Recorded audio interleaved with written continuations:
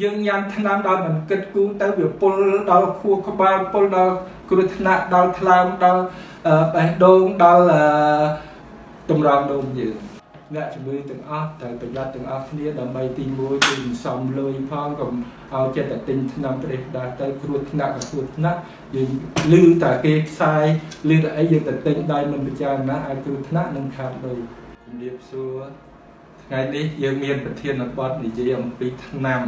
ថ្នាំពេទ្យអ្វីទៅជាថ្នាំថ្នាំមានប្រវត្តិយូរលង់មកហើយតាំងពីបុរាណកាលតាំងពីមនុស្សយើងចេះដឹងក្តីមកគឺថាពីប្រវត្តិសាស្ត្រមកគឺមានថ្នាំប៉ុន្តែថ្នាំនោះជារុក្ខជាតិជាធម្មជាតិជាឆ្អឹងជាខ្យងហើយក៏ចេះតែតតតដំណើរតគ្នាមក ហើយជួនកាលក៏ត្រូវជួនកាលក៏ខុសជួនកាលក៏គេហៅបំផ្លាញសត្វដែលឥឡូវនេះគេរក្សាសត្វខ្លះដើម្បីទុកឲ្យកូនចៅយើងចឹងឆ្នាំមានប្រវត្តិយូរហើយក៏ប៉ុន្តែទៅតែសម័យថ្មីយើងនេះគេចំក្រងគេមានការពិសោធន៍ហើយបានពិសោធន៍នៅលើសត្វពិសោធន៍មកលើមនុស្សមនុស្ស 4 10នាក់រហូតដល់នៅមន្ទីរពេទ្យសាស្ត្រាចារ្យគេយកមកអនុវត្តហើយបានជាដាក់លក់នៅទីផ្សារចឹងថ្នាំពេទ្យមានមុខងារអីថ្នាំពេទ្យមានមុខងារព្យាបាលយើងកែសម្រួលមុខងារអីមួយនៅក្នុងខ្លួនយើងដូចជាផ្លូវដង្ហើមផ្លូវរំលាយអាហារផ្លូវទៅសាយប្រសាទឲ្យវាទៅស្រួល មានមុខងារធម្មតាវិញអញ្ចឹងមុខងាររបស់វាគឺវាសំខាន់ណាស់ក៏ប៉ុន្តែយើងទាំងអស់គ្នាដឹងគ្រប់គ្នាថាឆ្នាំជាអាវុធមុខពីរប៉ុន្តែខ្ញុំនៅពេទ្យធ្វើជាអ្នកសិក្សាអំពីឆ្នាំជាងថាជួនកាលវាមានមុខ3មុខ4មានមុខខ្លះល្អមុខខ្លះអាចគ្រោះថ្នាក់ដល់យើង ចឹងឆ្នាំពេទ្យវាមានសម្រាប់អីទី1សម្រាប់ព្យាបាលព្យាបាលជាមូលដ្ឋានព្យាបាលរោគសញ្ញាដោយថាក្តៅខ្លួនយើងស្គាល់បារ៉ាសម្រាប់ធ្វើរោគវិនិច្ឆ័យព្រោះឆ្នាំខ្លះចាក់ទៅបានថតឃើញហើយនឹងសម្រាប់ការពារដូចជាវ៉ាក់សាំងចឹងឆ្នាំពេទ្យជាមុខវិជ្ជាមួយ គេរៀននៅ ក្នុងសាលាពេទ្យខាងគ្រូពេទ្យក៏រៀនខាងអសុទ្ធការីក៏រៀនប៉ុន្តែយើងត្រូវចាំឲ្យច្បាស់នៅពេលយើងរៀនយើងត្រូវចាំ4ចំណុចសំខាន់ពាក្យបច្ចេកទេសគេហៅ pharmacodynamic pharmacokinetic pharmacovigilance និង pharmacodependent ខ្ញុំនឹងសម្រាយហើយនឹងជម្រាបអស់លោកអ្នកមួយម្ដងមួយម្ដងពីព្រោះមានសិស្សខ្លះអាចនៅចាំសិស្សខ្លះមិនចាំសរសេរវិជ្ជបញ្ជាទៅគេមើលមិនដាច់យើងលក់ទៅទិញថ្នាំពេទ្យទៅជើងទិញដល់បិណ្ឌគោរពវិជ្ជបញ្ជាពីព្រោះមានក្រសួងសុខាភិបាលជាអ្នកគ្រប់គ្រងគេហៅអឺ យុគឋានត្រួតពិនិត្យថ្នាំពេទ្យចេញឲ្យលក់ចេញឲ្យប្រើហាមមិនឲ្យប្រើហើយមែនតែនគឺថានៅក្នុងឆ្នាំគេទុកជាកញ្ចប់ហើយមានអក្សរសម្បត្តិមួយ ជាភាសាជាតិទៀតពីព្រោះអ្នកខ្លះមើលមិនដាច់ទេអក្សរបារាំងអក្សរអង់គ្លេសអក្សរវៀតណាមអញ្ចឹងជាភាសាខ្មែរញ៉ាំម៉ានដងញ៉ាំពេលណាគ្រោះថ្នាក់អី ខ្ញុំមានរូបបង្ហាញអំពីរូបថ្នាំសូមបង្ហាញអំពីរូបថ្នាំពេទ្យដើម្បីឲ្យអស់លោកឃើញថ្នាំពេទ្យគឺថាវាមានជាក្របជាក្របអឺរុំជាតិស្ករមានជាក្របរុំសបកដូចជានំក្រៀបទៀតអឺហើយមានជាថ្នាំចាក់ហើយគេរៀបនៅក្នុងទូ នៅកន្លែងលក់ថ្នាំហៅ pharmacy ក៏ប៉ុន្តែ មានរូបមួយបង្ហាញថាយើងញ៉ាំថ្នាំដោយមិនគិតគូរទៅវាពុលដល់ខួរក្បាលពុលដល់គ្រោះថ្នាក់ដល់ថ្លើមដល់បេះដូងដល់តម្រងដូងយើងអញ្ចឹងខ្ញុំនឹងបង្ហាញអំពីមួយមួយជូនអស់លោកស្ដាប់ជាពិសេសលោកគ្រូពេទ្យយើងត្រូវទៅសេឲ្យច្បាស់កុំឲ្យប្រើថ្នាំច្រើនពេក យើងធ្វើរោគវិនិច្ឆ័យឲ្យច្បាស់ចង់ឲ្យថ្នាំថ្នាំបដោះអាសន្នថ្នាំនឹងប្រើបានប្រហែលថ្ងៃត្រូវឈប់គ្រោះថ្នាក់អីយើងត្រូវបញ្យល់អ្នកជំងឺទី1ខ្ញុំសូមជម្រាបពាក្យគេហៅ pharmacodynamic គឺមុខងាររបស់ថ្នាំបើសិនជាយើងដឹងមុខងារវាច្បាស់យើងអាចចំណេញជួនកាលថ្នាំមួយបាញ់បាន3កន្លែងអបថា ថ្នាំហ្នឹងព្យាបាលអឺហឺតផងព្យាបាលជួយបេះដូងផងព្រោះថ្នាំហ្នឹងដូចជាគេហៅ beta-2 sympathetic វាលក់នៅក្នុងទីផ្សារជាបំពង់បានគេហៅអឺវងដុល្លារប៉ុន្តែថ្នាំហ្នឹងអាចឲ្យញាស់បេះដូងអាចឲ្យបេះឲ្យស្បូនយើងហ្នឹងវារលាឧបមាថាយើងចង់ឲ្យអ្នកនឹងបេះដូងយឺតយើងបាញ់ អាហ្នឹងទៅបេះដូងយើងក៏បានលឿនយើងក៏ជាហឺតអញ្ចឹងមុខងារយើងចំណេញប៉ុន្តែបើសិនជាថ្នាំខ្លះដូចជាថ្នាំប្រេតនីសូឡុងជាសន្លាក់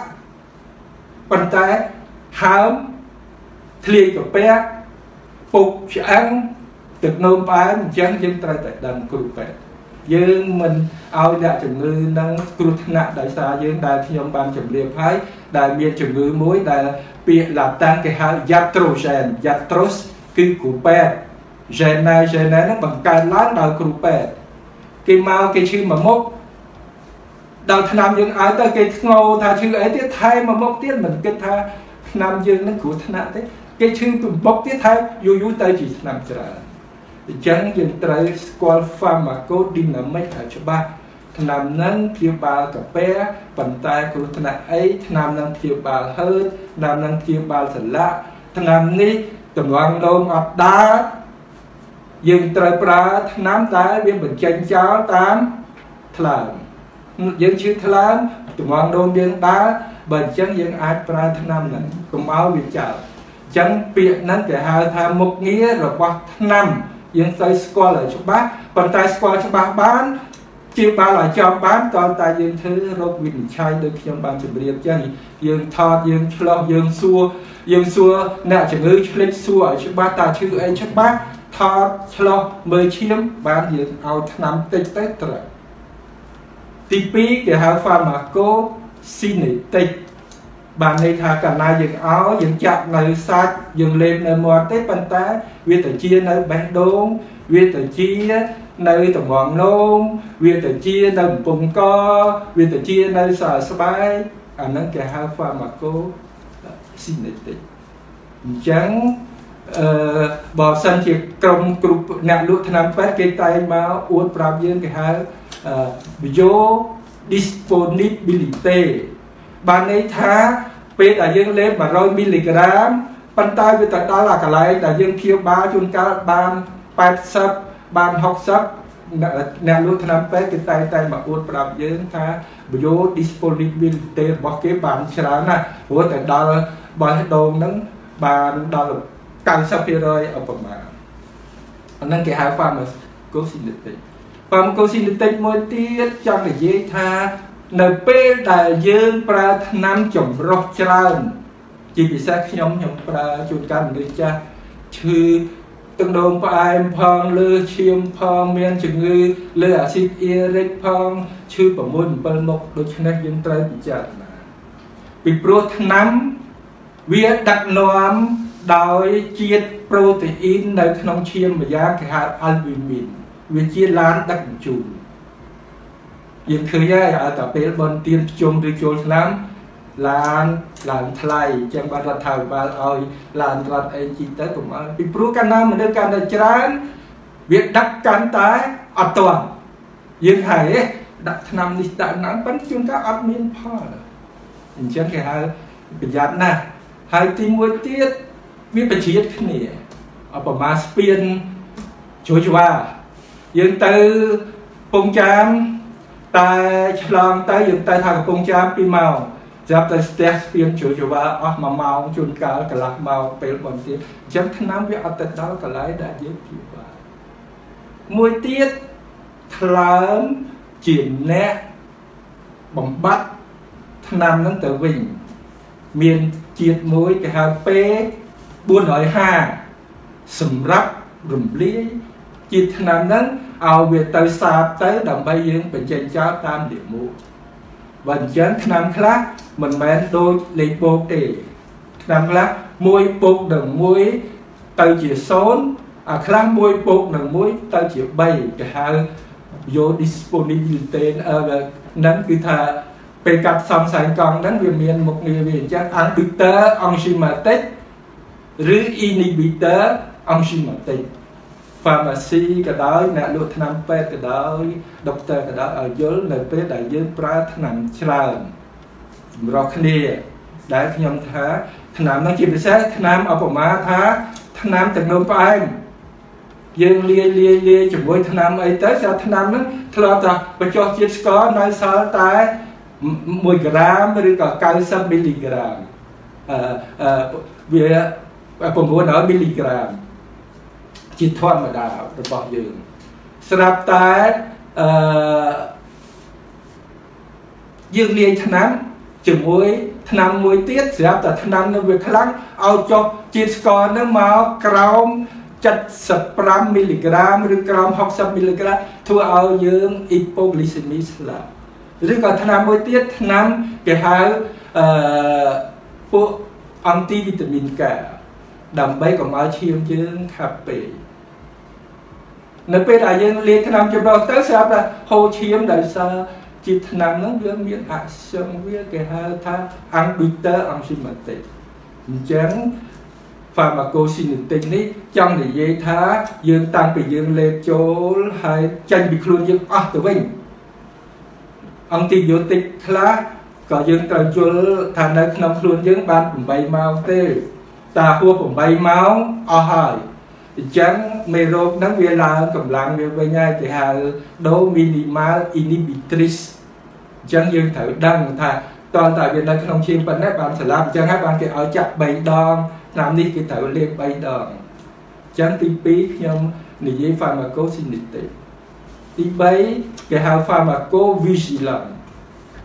ស្អីទៅគេហៅ pharmacovigilance pharmacovigilance បានន័យថាយើងត្រូវប្រយ័ត្ន នៅក្នុងឆ្នាំពេទ្យបើអ្នកប្រើជាភាសាបារាំងគឺយើងបើកនៅកន្លែងលឿងគេឈ្មោះឆ្នាំ brand បើកនៅកន្លែងសគេហៅ DCE វាអញ្ចឹង DCE ហ្នឹងប្រទេសណាក៏គេស្គាល់ដែរដូចជាប៉ារ៉ាសេតាមុលអឺប្រទេសណាក៏គេស្គាល់ដែរជាអាសេតាមីណូហ្វេន ប៉ុន្តែថៃវាដាក់សារ៉ាបារាំងវាដាក់ដូលី5អេហ្វេរ៉ាហ្គងប៉ុន្តែជាឆ្នាំវានៅតែប៉ារ៉ាសេតាមុលអញ្ចឹង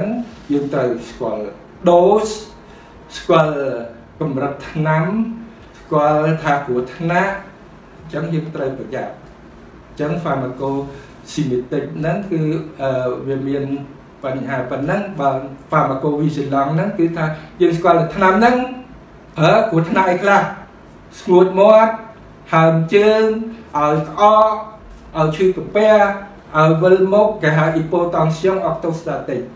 បើអត់ប្រាប់អ្នកជំងឺស្រាប់ថាលោកគ្រូខ្ញុំតាមបើដើរទៅឈឺនោមលេងចង់ដួលអញ្ចឹង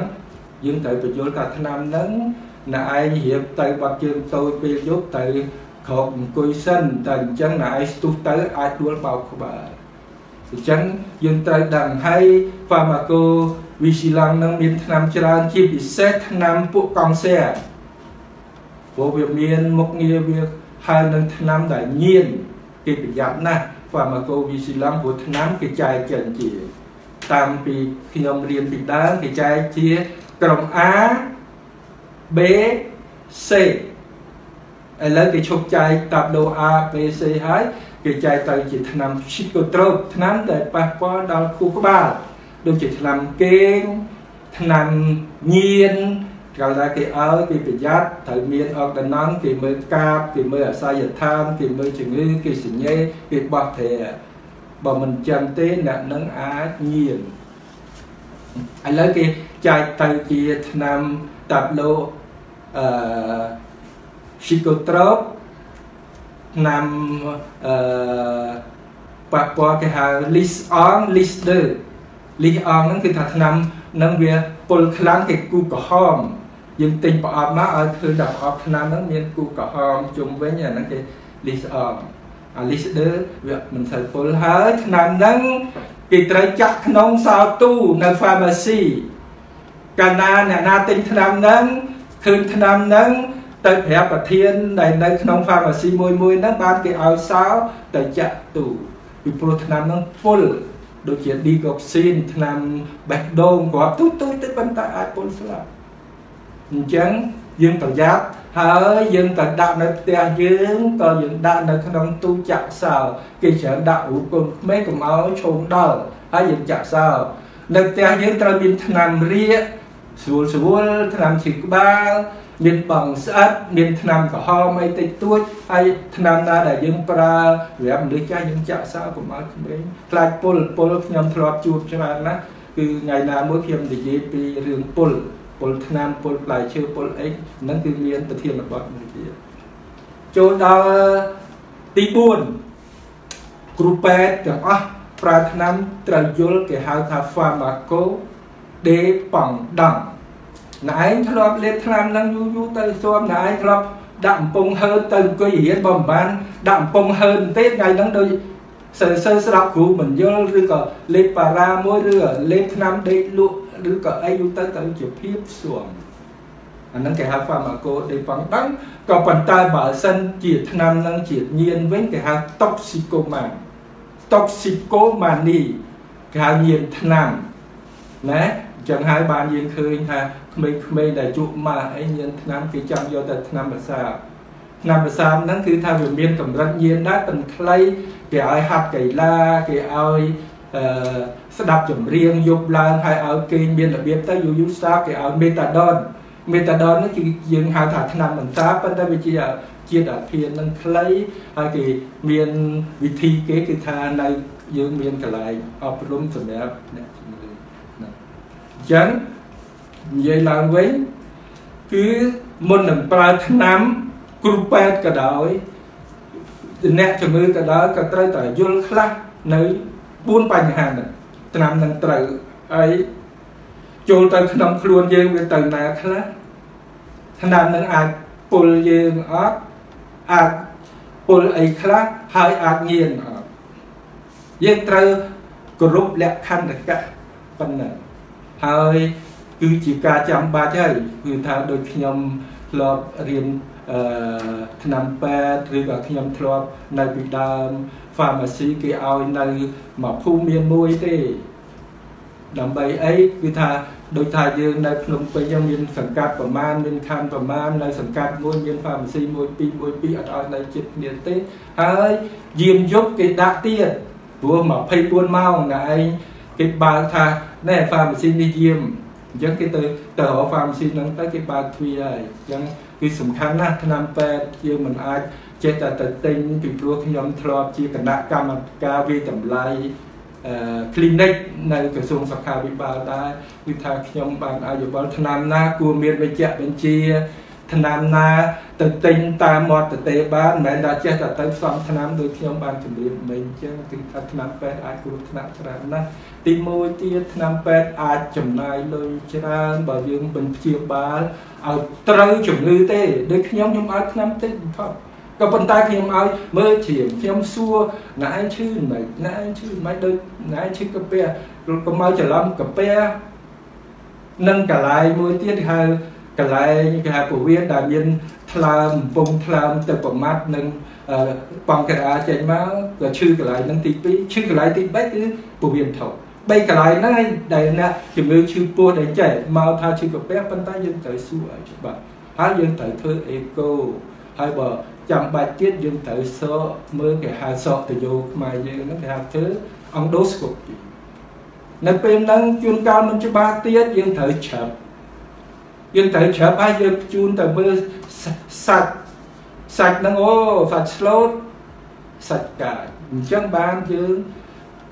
ធ្វើរោគវិនិច្ឆ័យហើយបើកន្លែងណាយើងមិនអាចព្យាបាលគ្រូពេទ្យឯកទេសយើងឥឡូវមានខាង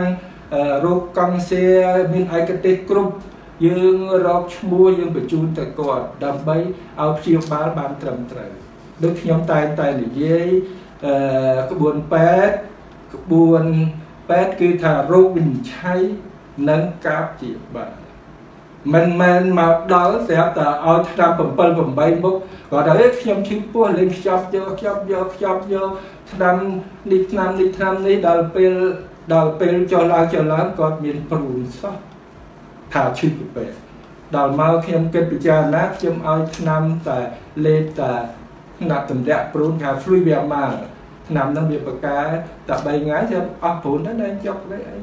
ចំណេញលុយច្រើនមិនខាតពេលហើយមិនមានគ្រោះថ្នាក់អញ្ចឹងឆ្នាំពេទ្យវាសំខាន់សំខាន់ហើយសំខាន់ទៀតមួយក៏ហៅការព្យាបាលរោគសញ្ញា មួយគេហៅការព្យាបាលមូលដ្ឋានមិនខ្ញុំនិយាយរោគវិនិច្ឆ័យមកដល់ការព្យាបាលការព្យាបាលវាមានការព្យាបាលដោយថ្នាំយើងកុំច្រឡំការព្យាបាលដោយវះកាត់ ការព្យាបាលដោយចិត្តសាស្ត្រការព្យាបាលដោយកម្មរស្មីការព្យាបាលដោយធ្វើចលនាដូច្នេះគ្រូពេទ្យគេអាចដឹងគាត់តែស្ទាបពោះចូលមកដល់ស្ទាបពោះមើលទៅទៅអត់បានទេខ្ញុំបញ្ជូនអ្នកទៅលោកគ្រូពេទ្យនេះគាត់ជាជំនាញវះកាត់គ្រឿងក្នុង calcium visceral ព្រោះខ្ញុំសង្ស័យ កូនអ្នកឯងមានរលាកខ្នែងពោះវៀនខ្ញុំអាចដឹងបានព្រោះខ្ញុំចុចកន្លែងហ្នឹងទៅឈឺគ្រាប់ឈាមសឡើងច្រើនណាស់ប្រហែលជា80% 90%ជាជំងឺដែលឯងមិនអាចទុកទេខ្ញុំនឹងណែនាំទៅមន្ទីរពេទ្យធំធំដើម្បីគេវះកាត់យើងមិនអាចទុកអញ្ចឹងជាជាការព្យាបាលដូចខ្ញុំជម្រាបអញ្ចឹងអាចថ្នាំពេទ្យអាចវះកាត់អាចអឺ ស្អំអាចជួនកាលបុរាណប៉ុន្តែបុរាណហ្នឹងគឺថាអាចជាដែរបើឈឺជំងឺអីល្មមល្មមគេហៅក្រខ្យល់អាហ្នឹងក៏ខ្ញុំធ្លាប់អឺនិយាយដែរគឺថាអាចជាពីព្រោះជាការព្យាបាលប៉ុន្តែក៏ខ្យល់ក៏ខ្យល់ក៏ខ្យល់ប៉ុន្តែគាត់នេះកំសែអសោះពីព្រោះយើងអត់មកពេទ្យរករោគវិនិច្ឆ័យក៏ខ្យល់ក៏ខ្យល់ក៏ខ្យល់គាត់នឹងជាជំងឺអឺអឺ តបៅអីណាមួយសោះអញ្ចឹងគេយើងត្រូវអញ្ចឹងគឺថ្នាំពេទ្យគឺយើងត្រូវប្រយ័ត្នប្រយែងដូចខ្ញុំបានជម្រាបអញ្ចឹងគឺថាវាមានប្រភពវាច្បាស់លាស់ប្រភពវាមានសំខាន់គឺធម្មជាតិដូចស្លឹកដូចយើងធ្លាប់ដឹងហើយស្លឹកជីឡូបាស្លឹកអឺថ្នាំ ជួយឲ្យយើងឲ្យកតិលកតិកពើគេយកទៅធ្វើជាថ្នាំគេហៅរុក្ខជាតិថ្នាំមានប្រភពរុក្ខជាតិដែលគេយកមកធ្វើជាថ្នាំពេទ្យដូចជាគីនីនដូចជាថ្នាំជួយព្យាបាលបេះដូងថ្នាំមានប្រភពមួយទៀតគេហៅសាន់តែបានន័យធ្វើសញ្ញោដូចជាពេនីស៊ីលីនកាលពីដើមសង្គ្រាមលោកលើកទី2 ពិបាកណាស់ពីព្រោះពេនីស៊ីលីនដំបូងគេយកមកពីផ្សិតផ្សិតហើយតម្រាំបានហ្នឹងគេយកទឹកនោមទៅត្រងមកវិញឥឡូវសបោណាស់ទៅទិញកន្លែងណាក៏បានពេនីស៊ីលីនហើយមាន derivative របស់វាអំពីស៊ីលីនមានអាម៉ុកស៊ីលីនទៅកន្លែងណាប្រយ័ត្នកន្លែងហ្នឹងក៏យើងទៅទៀតខ្ញុំនិយាយថាប្រយ័ត្នអឺមួយទៀតមានប្រភពគេហៅថា bio ថ្នាំ bio ដែលហៅថាថ្នាំ bio មានប្រភពពី bio ហ្នឹងថ្លៃគឺយក lymphocyte យើងទៅចិញ្ចឹមដែលគេយកទៅធ្វើ antiviral គេយកទៅធ្វើអ្វីអ្វីថ្នាំដែល bio គេហៅថ្នាំ bio medicament ថ្នាំហ្នឹងមានថ្លៃប៉ុន្តែអ្នកដែលមានលទ្ធភាពគេប្រើដោយយើងចាក់កាលមុនយើងមាន antiviral alpha 2b ដែល Pegasus ដែលគេចាក់ថ្នាំសម្រាប់ព្យាបាលអាលៀត្រាមសេ កង់សែប៉ុន្តែឥឡូវហ្នឹងយើងមានថ្នាំក្រឥឡូវចូលដល់គេហៅថាអឺការខ្លាចបន្លំនៃថ្នាំការខ្លាញ់បន្លំទាំងឆ្នាំអឺលេតឲ្យតែថ្លៃណាស់ការខ្លាញ់បន្លំកាន់នៅលើទីផ្សារនៅក្នុងការព្យាបាលម្សៅមីឬក៏ទឹកសុទ្ធ អាចឲ្យយើងជា30%ម្សៅមីសោះប៉ុន្តែយើងកុហកយើងនេះគ្នាយើងយើងកុហកយើងដាក់ប្រអប់ឲ្យស្អាតយើងរំថាអេឆ្នាំហ្នឹងមកពីស្រុករាំងវាបាបកែណាហើយលេបបាត់ឈឺក្បាលស្រាប់តែលេបបាបមកស្ទុះតែជឿអីបកែមកឆ្នាំហើយបាត់ឈឺក្បាលណាទឹកសុទ្ធ ប៉ុន្តែគេមិនយកទឹកសុទ្ធទេគេយកទឹកលាយគេហៅ physio យកទៅចាក់ឲ្យណៃកំពុងតែឈឺស្រាប់តែមកស្ទុះអញ្ចឹងហើយ30%ហ្នឹងគេហៅ effet de placebo ចឹងហើយបានឆ្នាំមុនចេញមកប្រើហ្នឹងគេឆ្លងកាត់សាស្ត្រាចារ្យជាច្រើនដូចខ្ញុំធ្លាប់ទៅប្រជុំស្រុកគេសាស្ត្រាចារ្យ15នាក់គាត់ឆ្នាំពេទ្យមួយ ហើយរនៅក្នុងរយៈពេលជិត10ឆ្នាំហើយហើយយកមកឡង់សេគេហៅ satellite symposium អាហ្នឹងគឺសាស្ត្រាចារ្យ5នាក់គ្រប់គ្រងឆ្នាំហ្នឹងសាស្ត្រាចារ្យ5នាក់អង្គុយតុផ្សេងប្រឆាំងថាឆ្នាំហ្នឹងអាចគ្រោះថ្នាក់ចេះចេះមានសាស្ត្រាសាស្ត្រាចារ្យ5នាក់ទៀតជាអ្នកកាត់សេចក្តីបានឲ្យឆ្នាំហ្នឹងលក់នៅទីផ្សារ ហើយលក់នៅទីផ្សារយើងតែងតែឃើញថានៅក្នុងសិភៅវីដាល់តែងតែឃើញគេដកលុបលេខឲ្យប្រើវិញដូចជាឆ្នាំគេហៅឌីអង់តាល់វិចអ្នកនៅប្រហែលឆ្នាំមុនថាវាអាឆ្នាំនោះបកែបាត់ឈឺចាប់ព្រោះវាមានប៉ារ៉ាសេតាមុលលាយជាមួយអាចភាន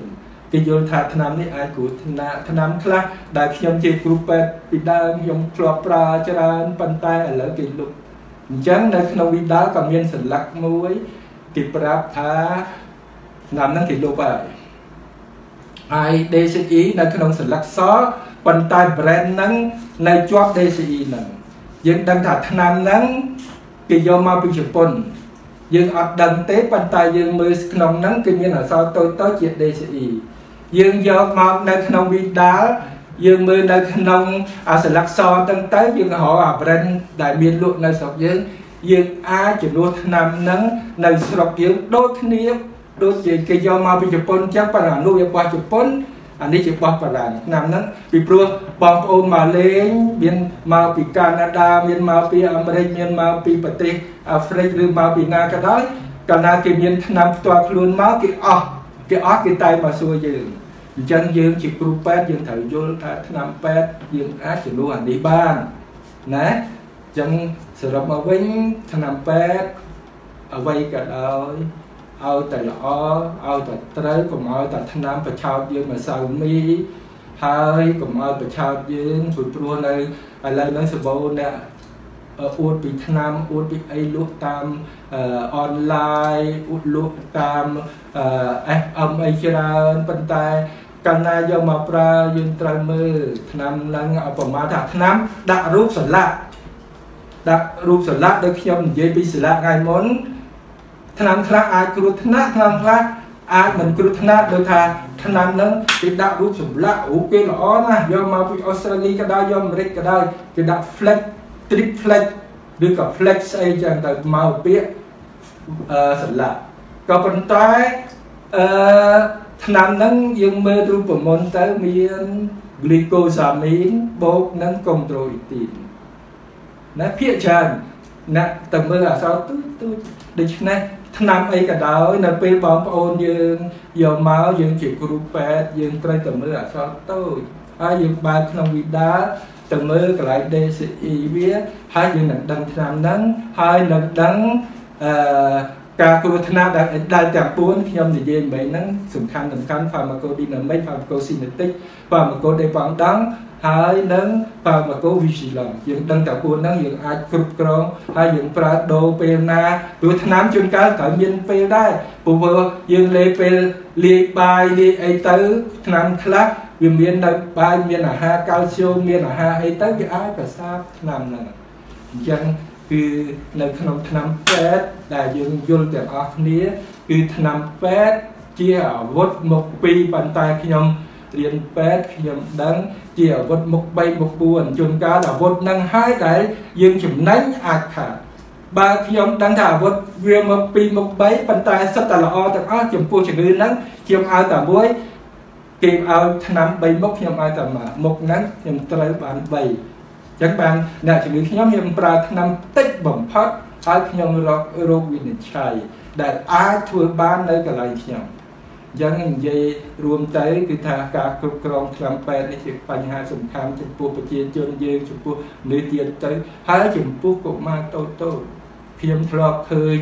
កុមារតូចតូចដែលមិនបានយល់ពីព្រោះមានឆ្នាំបានចំបងមួយគឺហៅថាអឺ បេតាមីមេទិញហ្នឹងដើម្បីឲ្យស្ងួតស្បោ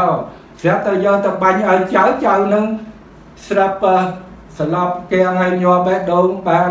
ពេទ្យគុណធវិភាជួយទៅបានរស់ឡើងវិញខ្ញុំមានវិធីជួយខ្លះទៅយកទៅពេទ្យទៅយ៉ាងបានថាគ្រោះថ្នាក់នៃឆ្នាំពេទ្យនឹងមានច្រើនណាស់អ្នកណាតលេបឆ្នាំទៅមុខស្ពុលស្ពុលស្ពុលមុខហើមហើមជើងអាហ្នឹងសិតតែឆ្នាំហ្នឹងមានជាតិគាត់ទីកអ៊ីតែធ្លេកាពះ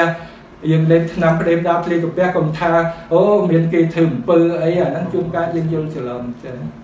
អញ្ចឹងបញ្ហាឆ្នាំពេទ្យជាបញ្ហាអប់រំមួយធំណាស់ទាំងអ្នករៀនពេទ្យអ្នករៀន pharmacy គេរៀនជ្រៅជាងគ្រូពេទ្យគឺថាគេរៀនរបៀបធ្វើថ្នាំរបៀបភ្ជាប់ថ្នាំគេមើលគុណភាពថ្នាំគេមានស្រាវជ្រាវខុសពីគ្រូពេទ្យយើងត្រូវដឹងរបៀបប្រើថ្នាំ សរសេរអត់ដំណងឲ្យគេឲ្យច្បាស់លេខប្រមាណដងប្រមាណថ្ងៃអត់មានខ្ចប់ដាក់ពណ៌នេះពណ៌នេះអត់មានសរសេរឲ្យគេអានឹងគ្រោះថ្នាក់ហើយប្រយ័ត្នគ្រោះថ្នាក់អត់មានទទួលខុសត្រូវព្រោះឥឡូវគេមានគណៈគ្រូពេទ្យគេមានអឺមេធាវីគេសម្រាប់ចោតប្រកម្មយើងគ្រូពេទ្យណាយើងត្រូវប្រយ័ត្នខ្ញុំជាគ្រូពេទ្យអឺដែលធ្វើការយូរខ្ញុំប្រយ័ត្នណាស់គឺ អញ្ចឹងបញ្ហាឆ្នាំពេទ្យខ្ញុំនិយាយត្រួសត្រាសខ្លះប៉ុណ្ណេះដើម្បីជូនបងប្អូនគ្រូពេទ្យទាំងអស់ហើយនឹងអឺ